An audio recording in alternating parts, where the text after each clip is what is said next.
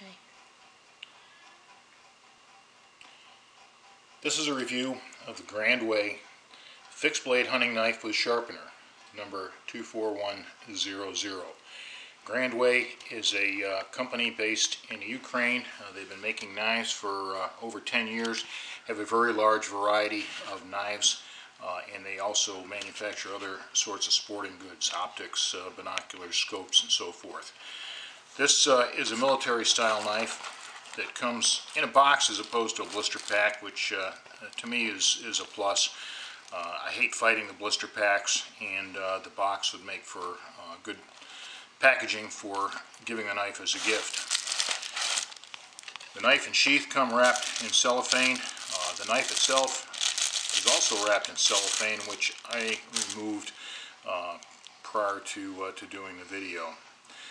The blade on the knife is 440C stainless. Uh, it has uh, a black matte finish, uh, a little rough on this particular knife. Uh, 440C is a high chromium stainless, uh, which uh, has excellent balance of properties uh, uh, of hardness and, uh, and corrosion resistance. The steel takes a nice edge, and it's, uh, it's fairly easy to sharpen, even for a novice. Uh, the edge of the blade has a V-grind, uh, which makes it easy to sharpen in the field. Um, and the disadvantage of that is that the V-grind uh, can uh, dull a little bit more easily. It's uh, sharp enough to cut paper right out of the box, although you may want to improve the, uh, the sharpness after you, uh, after you get the knife. Uh, the knife has a clip point with a, a very subtle curvature towards the end of the knife. It uh, makes for a uh, sharp and controllable point, good for piercing, uh, but still keeps uh, plenty of uh, cutting edge on the belly for, for slicing. And the side of the knife, there's two grooves or fullers, as they're called. They're not blood grooves. They're basically to lighten the weight of the blade without without sacrificing the strength of the blade.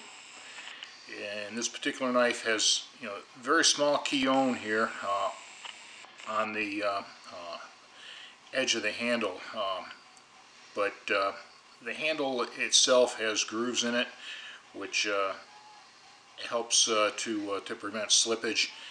The handle is a barrel shape. It's made of oil and gasoline resistant elastomer. Uh,